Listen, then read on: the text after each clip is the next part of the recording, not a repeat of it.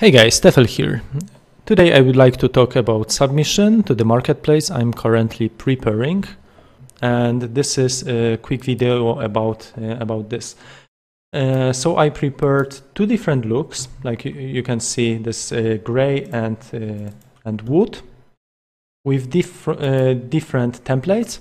And if you haven't seen the previous video about templates and uh, writing or making UWidgets, uh, exposing some look and uh, making them usable in the Unreal Engine. Uh, somewhere in the screen there should be a link right now, maybe on the top. So yeah, you can just jump quickly to the previous video. But in this video, I would like to go through uh, all the elements I'm exposing or I'm just writing as slate widgets. Uh, and I think all of them are quite useful. But maybe you have different idea uh, which elements should be exposed, which are lacking in the Unreal Engine 4. Maybe you have also idea of new slate widgets which would be worth to uh, write. So yeah, uh, first element is just simple uh, advanced button. Uh, so I wouldn't say simple because it's advanced. So uh, basically it uh, contains uh, text already inside. This text can be uh, alignment like vertical aligned to the left, right, uh, to the bottom. And uh, text of course can be setted. everything from the text is exposed. And this is like one simple widget which can be used in your project. So you don't have to worry about placing texts or placing look of, of, of this widget can be re reusable and this uh, default look can be changed in the base class and it's simple like that. Then we have these two checkboxes which are just toggle buttons. One is toggle and one is untoggle. Then we have simple scroll uh, slider which is moving from left to the right, but we have also two-dimensional slider right here. And this object is quite new, so maybe I will just jump and quickly show how it works.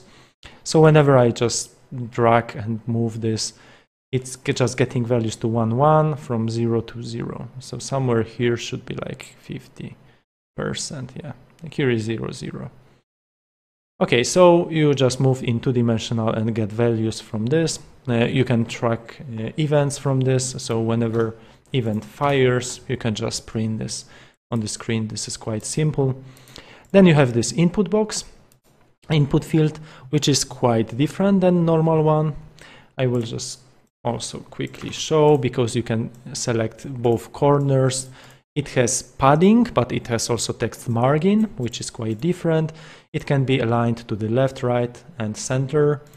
And yeah, it has some other uh, specification too. Uh, then you have this uh, multi-line selection, uh, multi-line mm, box, uh, which has also uh, only custom look, I think. Uh, then you have a radio button line where you can select one element at once.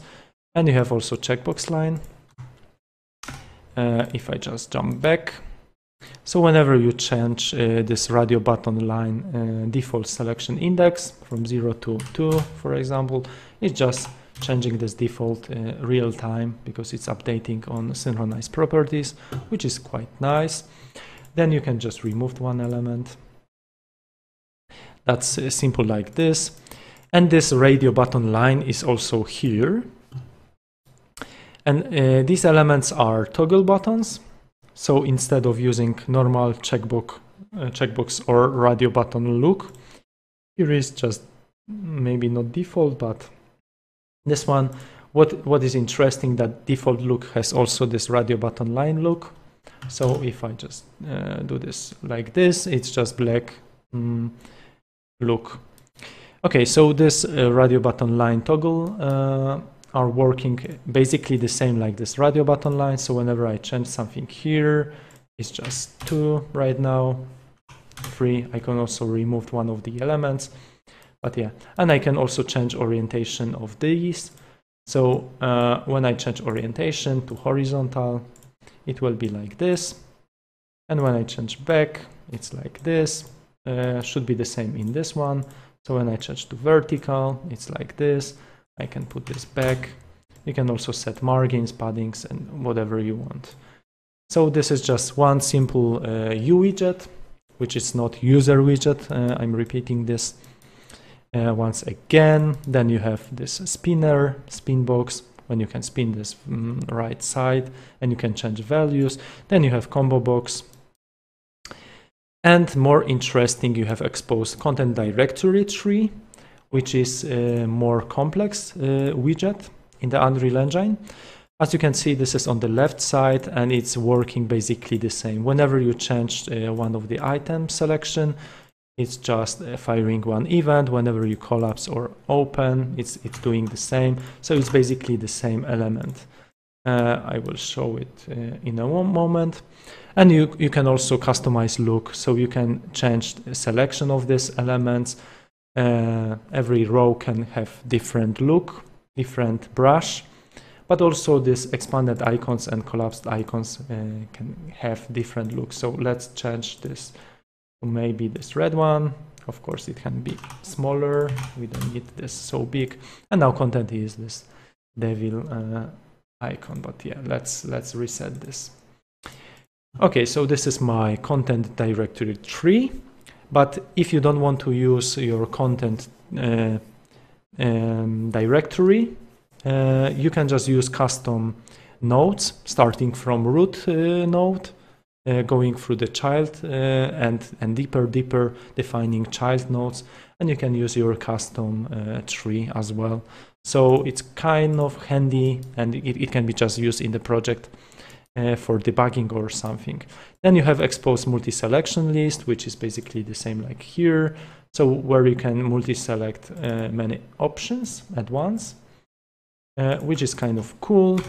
Uh, you have also these options. You can add more options. You can define more headers or just columns. You can define look of the header. You can define uh, whenever you select something, colors of selection, and this custom uh, rows and, and go on and go on.